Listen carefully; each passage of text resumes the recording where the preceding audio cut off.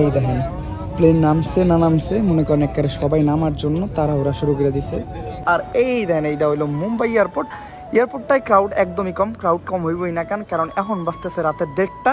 তো আমরা আমাদের ফ্লাইটের এরিয়াতে চলে আসলাম। মূলত ফ্লাইট আসার আগ পর্যন্ত আমরা এই জায়গায় বসবো রেস্ট নিবো ঘুমাবো যা মন চাই তাই করব এই দেখেন, এটার দাম হলো চল্লিশ রুপি। চল্লিশ রুপি হিসেবে এটা আমার কাছে ভালোই লাগছে। আর এত বড় এয়ারপোর্ট এটা গেট থেকে আমাদের ফ্লাইটের ওই জায়গায় যেতে মোটামুটি আমাদের আধা ঘণ্টার মতো হাঁটতে হবে। তো হাঁটি। ফাইনালি দিল্লিটা ছাড়তেছি এই ভাইবে খুশি লাগতেছে। এই প্রথম কোনো শহর ছাড়ার সময় এত খুশি লাগতেছে। তারাই দেন আমাদের সামনে চারজন Chinese I think Chinese but বাচ্চাটা অনেক কিউট যাক কিচ্ছু করার নাই কপালে লেখা ছিল আর কি। নয়তো বাংলাদেশ থেকে আইসা ইন্ডিয়ায় যে আমরা বন্দি করে যাব এটা আমরা কখনো ভাবিও নাই।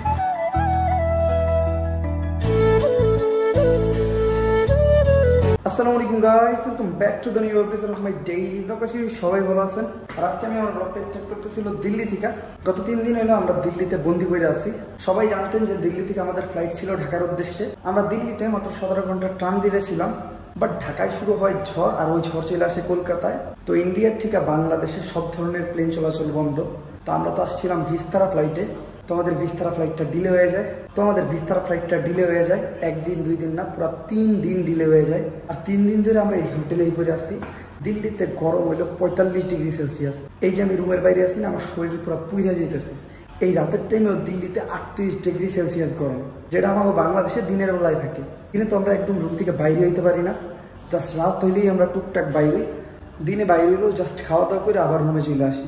দেন কোনো ফ্লাইট ডিলে হইলে আমরা এটা জানি যে ফ্লাইট কোম্পানিগুলো আমাদের হোটেলে থাকা, খাওয়া, খরচ সব কিছু বহন করব। বাট যে তারা ফ্লাইটটা এটা করে নাই, তারা বলছিল আমাদের টাকা রিফান্ড করে দিবে বা আমাদের অন্য ফ্লাইট দিয়ে যেতে বলছিল। বাট অন্য কোনো ফ্লাইট অ্যাভেলেবেল নাই, আর টাকা রিফান্ড নিয়ে আমরা করব কি? তারা তো ফুল টাকা রিফান্ড করবে না। যার জন্য আমাদের তিন দিন অপেক্ষা করতে হলো আর শুধু শুধু আমাদের তিন দিনের একটা খরচ বাড়লো। লাইক তিন দিনের হোটেল খরচ খাওয়া দাওয়া খরচ, এগুলো সব আমাদের নিজের গাইড থেকে দিতেছে অ্যান্ড আমরা কোথাও ঘুরতেও বেরিয়ে যেতে পারতেছি না। ট্যুরটা প্রথম দিক দিয়ে খুবই ভালোভাবে শুরু হয়েছিল বাট শেষের দিকে আইসা এই ট্যুরটা আমার লাইফের অনেক বাজে একটা ট্যুরে পরিণত হয়। যাক, কিচ্ছু করার নাই, কপালে লেখা ছিল আর কি হয়তো বাংলাদেশ থেকে আইসা ইন্ডিয়ায় যে আমরা বন্দি করে যাব, এটা আমরা কখনো ভাবিও নাই। ওটার কোনো দুঃখ নাই, আমরা এমন একটা জায়গায় এসে বন্দি করছি, যেমন এটা একটা এয়ারপোর্ট এরিয়া আর এই যে চাইরো সাইডে just hotel hotel and hotel তো ইন্ডিয়ার কালচারটা অন্যরকম, এই সাইডের হোটেলে খালি যে পর্যটক থাকে এমন কিছু না, অনেক খারাপ কাজকর্ম হয়। যেটার সাথে আসলে আমি নিজেরা খাপ খাওয়াই নিতে পারতেছি না। এই জন্য আমি জাস্ট সারাদিন রুমে বসে থাকি। যাই হোক আমার ভিডিও বাচ্চা থেকে পুরা সবাই দেখে, যার জন্য আমি আর কিছু উল্লেখ করে বললাম না। আর এই রাতের টাইমটায় এই সাইডটা একটু ফাঁকা থাকে আর গরম কম থাকে, যার জন্য রাতে বাইরে এলাম। আর আমি বাইরে একটা জুস খাইতে। আমি ওই জুসটা খাইছিলাম, আমার কাছে অনেক ভালো লাগছিল। তো অনেক গরম লাগতেছে হোটেলের ভিতরে, একটু রিফ্রেশমেন্ট দরকার। তো ওই জুসটা খুঁজতেছি আমি, দেখি দোকানটা খোলা পাই নাকি। আর যাই হোক আইসা দোকানটা খোলা পাইছি। ভাইয়া চালিশ ওলা ম্যাঙ্গোওয়ালা দেয় না চল্লিশ রুপি হিসেবে ওই ম্যাঙ্গো শেকটা অনেক ভালো। বানাইতেছে বানাইয়া দেওয়ার পরে আমি আপনাদেরকে রিভিউ দিতেছি। এই দেখেন, এটার দাম হলো চল্লিশ রুপি। চল্লিশ রুপি হিসেবে এটা আমার কাছে ভালোই লাগছে, কারণ একদম ফুল ফিল আপ করে দেয় দেন অনেক আইসক্রিম আর উপরে কাজু বাদাম, টাজু বাদাম দেয়, অনেক মজা লাগে। একটা পাইপও দেয়, একটা চামচও দেয়। এটার টেস্টও টু গুড টু গুড এটা অনেক মজা। চলো, জুসটা খাওয়ার পর পেট ঠান্ডা হয়ে গেছে। পেট ঠান্ডা মানে দুনিয়া ঠান্ডা। কারণ তাড়াতাড়ি হোটেলে যাই, কারণ হোটেলে যাই ঘুমাইতে হবে।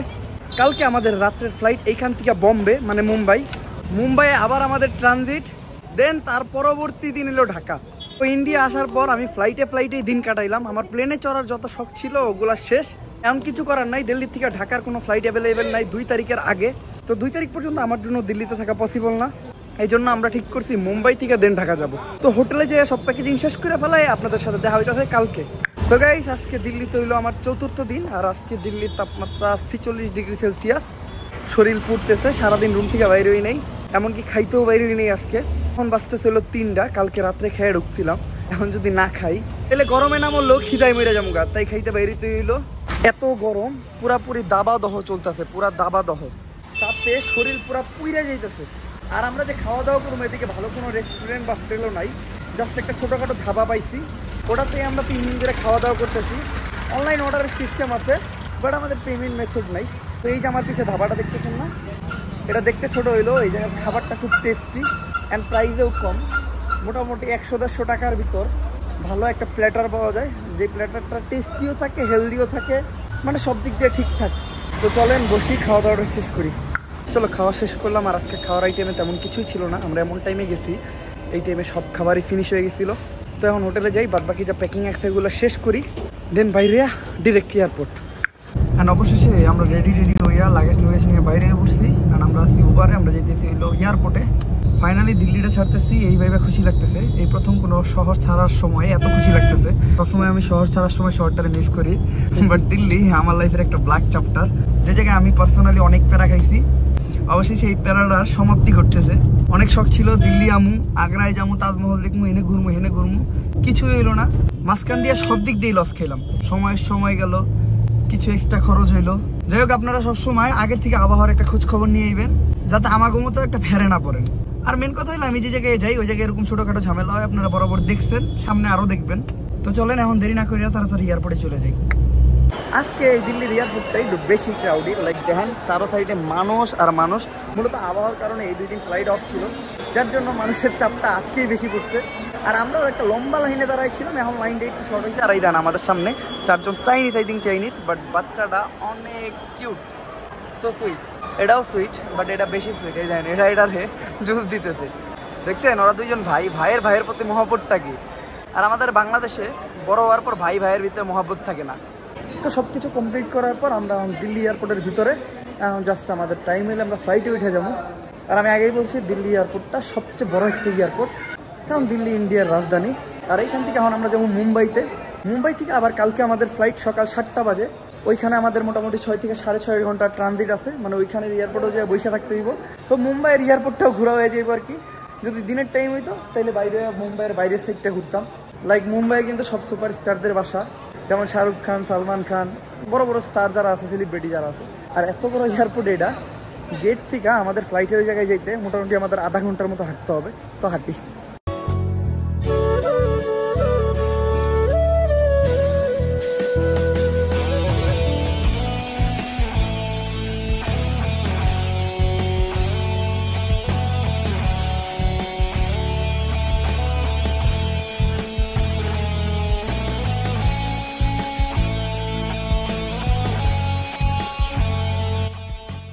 আধা ঘণ্টা হাঁটার পর ফাইনালি আমরা আমাদের পঞ্চাশ নম্বর গেট পাইছি। এই গেট দিয়ে আমরা ঢুকবো। আর আমার মনে হইতেছে আজকে আমাদের ফ্লাইটটা ডিলে হয়েছে কারণ ফ্লাইট ছাড়ার কথা ছিল নয়টা পঞ্চাশে অলরেডি নয়টা পঞ্চান্ন বাজতেছে। এখন দেহার বিষয়ে কতক্ষণ ডিলে হইব? আমরা আমাদের প্লেনে উঠে পড়ছি বাট আমাদের কপালটা খারাপ, আমাদের সিটগুলো একসাথে পড়ে নেই। কারণ আমার সিটটা পড়ছে এক জায়গায়, আমাদের সাথে দুজনের সিট পড়ছে সামনে। আর আমার সাথে যারা পড়ছে, সবাই স্ট্রেঞ্জার তো আমি ব্লগটা কন্টিনিউ করতে পারব না ঠিকঠাক মতো। আমার কথাও কম বলতে হইব, যাতে তাদের কোনো ডিস্টার্ব না হয়। বাট আমরা গত যতগুলো ফ্লাইটে ফ্লাই করছি, সবচেয়ে সুন্দর এই ফ্লাইটটা লাইক আপনাদেরকে একবার ফ্লাইটটা দেখাই। এই যে just look at the flight night ভিউটা খুব সুন্দর। এর আগেও আমি নাইটে ফ্লাই করছি বাট এত সুন্দর লাগে না এই ফ্লাইট আর এই যে, আমার সামনে এবার মনিটরও আছে। আমাদের আগের ফ্লাইটে মনিটর পাওয়ার কথা ছিল বাট আমাদের ধোকা দিয়ে দিছে।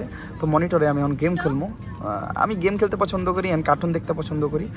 শুধু আমারটাই না, সবারটাই মনিটর দেওয়া আছে। ওই যে পিচ্ছি আই থিঙ্ক ও ছবি টবি দেখব, আমিও ছবি দেখব একটু পরে। আপাতত গেম খেলি নিউ গেম আর এই ফ্লাইটের সিটগুলো অনেক কমফোর্টেবল বসে অনেক কমফোর্ট ফিল করতেছি। জাস্ট আমি একদিক দিয়ে আনকমফোর্টেবল ফিল করতেছি। সেটা হলো আমার সাথে অচেনা মানুষ, মূলত আমার সাথে একটা মহিলা বসছে আর তার ছেলে। এমনিতে আমার কোনো সমস্যা নাই বাট অচেনা মানুষের সাথে বসলে একটু আনইজি ফিল হয়, কথা বলা যায় না, ঠিকঠাক মতো পা হাত খুইলা বসা যায় না। আর একটু পর পর কেমন কেমন করে জানি তাকায়, আমার খুব শরম করে।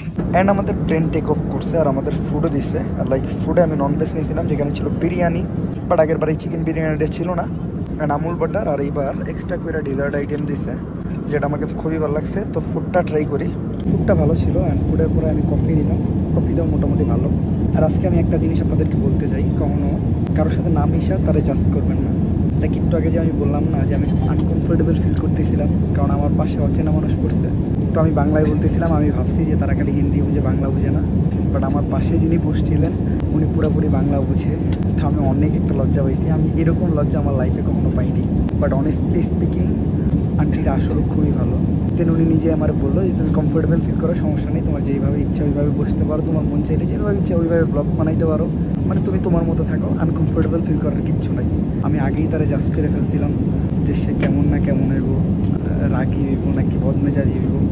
তো কখনও কারোর সাথে নাম আপনারা জাজ করবেন না। এমনকি আন্টিটা এত ভালো ছিল, আমার কানে ইয়ারফোন ছিল না। নিজে আমার ইয়ারফোন দিয়েছে, দেন মানে অনেক ফ্রেন্ডলি উনি কিন্তু আমার মার বয়সে রইব তো আমার প্রথমে ওই কথাটা বলা উচিত হয় নাই। যার জন্য আমি পার্সোনালি ওনার অনেকবার সরি বলছি। তো কখনো কারোর সাথে নাম সাথে তার জাজ করাটা একদমই উচিত না। তো যাই হোক, আমাদের ফ্লাইট আই থিঙ্ক আর বিশ মিনিটের ভিতর ল্যান্ড করব। তো তাড়াতাড়ি কফিটা সেই দিয়ে নিই। অ্যান্ড আমরা সেফলি মুম্বাই এয়ারপোর্টে আইসা নামলাম মাত্র। আর এই দেন, এইটা হইল মুম্বাই এয়ারপোর্ট এয়ারপোর্টটায় ক্রাউড একদমই কম ক্রাউড কম হইবই না কেন? কারণ এখন বাঁচতেছে রাতের দেড়টা। বাট এয়ারপোর্টটা সুন্দর আছে, অবশ্য সুন্দরই হইব না কারণ এই এয়ারপোর্টে সবই স্টাররা নামে। কারণ মুম্বাই হলো সেলিব্রিটিদের সিটি সবাই জানেন মুম্বাইয়ে সালমান খান, শাহরুখ খান, আমির খান, এদের বাড়ি। আরও অনেক নায়ক নায়িকাদের বাড়ি। আরও অনেক নায়ক নায়িকাদের বাড়ি। আর মূলত আমি প্রথমবার ইন্ডিয়াতে আসলাম আর প্রথমবার ইন্ডিয়াতে আইসা আমি অনেকগুলো এয়ারপোর্ট ঘুরে লাইলাম। ইন্ডিয়া আসার পর আমার লাইফ প্লেনে প্লেনেই কাটছে আর এয়ারপোর্টে এয়ারপোর্টেই কাটছে। এই মুম্বাই এয়ারপোর্টে এখন আমাদের ছয় ঘণ্টা স্টে ছয় ঘণ্টা এই জায়গায় আমরা থাইকা, সকালবেলা সাতটা বাজে ফ্লাইটে উঠবো। দেন বাংলাদেশে কখন নামাইবো, ওটা কোনো গ্যারান্টি নেই। তো চলেন এর ফাঁকে টুক করে মুম্বাই এয়ারপোর্টটা একবার ঘুরে নিই।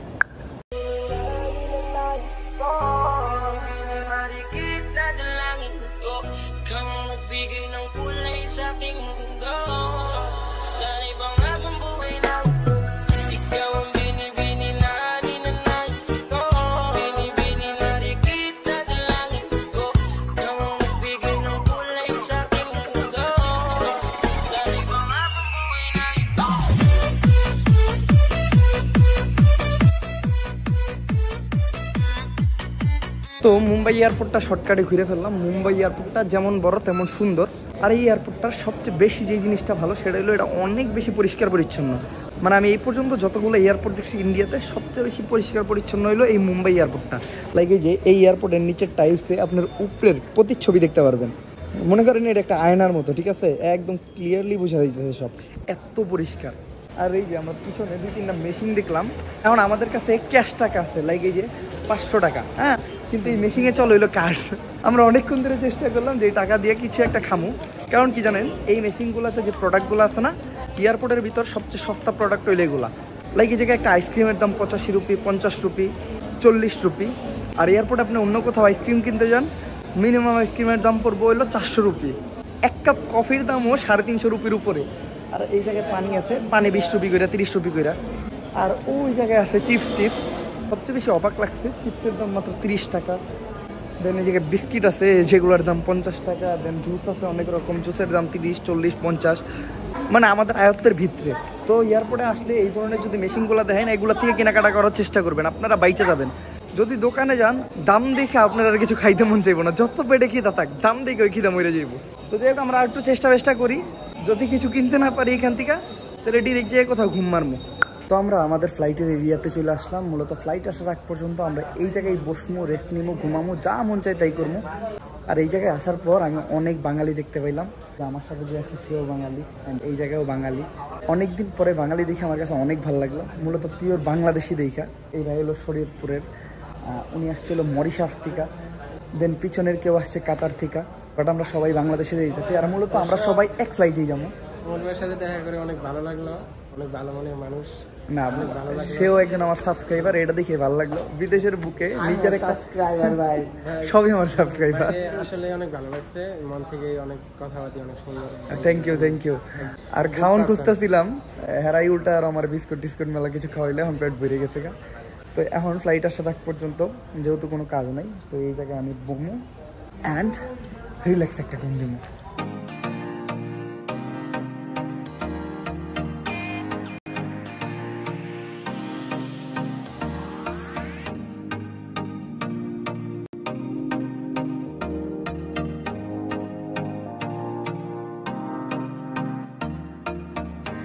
ফাইনাল বোর্ডিং কমপ্লিট আর এতদিন পরে বাংলাদেশের উদ্দেশ্যে ফ্লাইটে উঠতেছি। ভালো লাগতেছে একটা অন্যরকম খুশি উপভোগ হইতেছে এই যে আমাদের বিমান এটাতে উঠবো অ্যান্ড ডিরেক্ট বাংলাদেশ। তো চলেন আগে বিমানে ঢুকি। আর সুখবর হইল এইবার আমি ফ্লাইটে ওঠার পর পাইছি উইন্ডো সিট আসলে আমি উইন্ডো সিটটা পাই নাই আমি উইন্ডো সিটটা চাই আমি নিছি। কারণ এতবার ফ্লাইটে ট্রাভেল করলাম যদি একবার উইন্ডো সিটে না বসতে পারি তাহলে কি মজা আছে কোনো? অ্যান্ড আজকে উইন্ডো সিটে বসছি আপনারা উইন্ডোর থেকে খুব ভালো ভালো ক্লিপও দেখতে পারবেন। তো সিট বেল্ট টিট বেল্ট ভালো করে বাইন্দা নেই। ফ্লাইটের টেক অফেরও টাইম হয়ে গেছে so be ready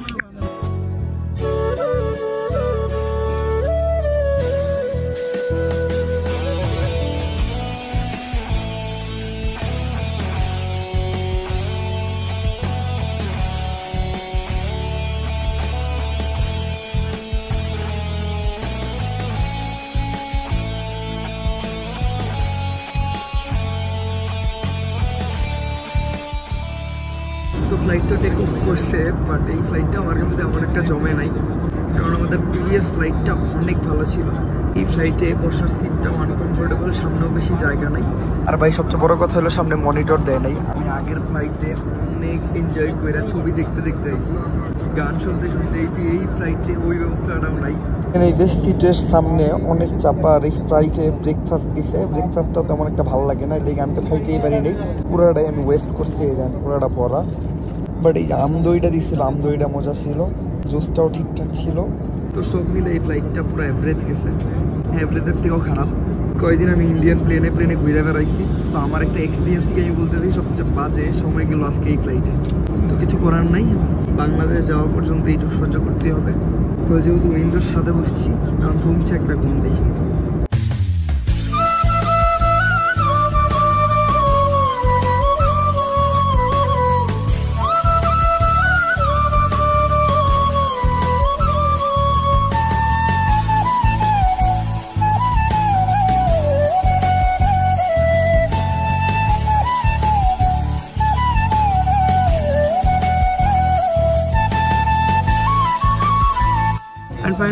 Safely reach in Dhaka airport এয়ারপোর্টে এসে আমাদের বিমান মাত্র ল্যান্ড করল।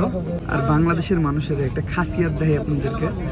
এই দেখেন প্লেন নামছে না নামছে, মনে করেন একবারে সবাই নামার জন্য তারা ওরা শুরু করে দিছে। এই জিনিসটা শুধুমাত্র বাংলাদেশেই হয় ইন্ডিয়াতে এই জিনিসটা হয় না, বা অন্যান্য দেশেও হয় না, বাংলাদেশে সবচেয়ে বেশি। তো যাই হোক, সবাই নামার পরেই আমরা নামি।